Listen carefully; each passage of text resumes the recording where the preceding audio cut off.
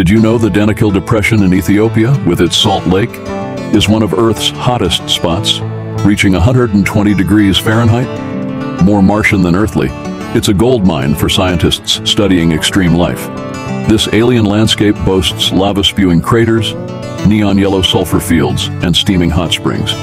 These features create a unique ecosystem, hinting at life's adaptability in harsh conditions.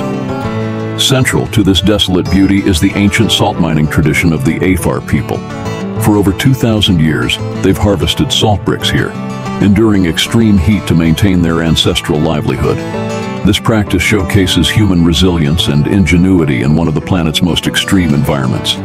The Danakil's mix of surreal terrain and cultural endurance highlights the incredible diversity of Earth's landscapes and the extraordinary lengths of human endeavor and cultures will go to adapt and survive.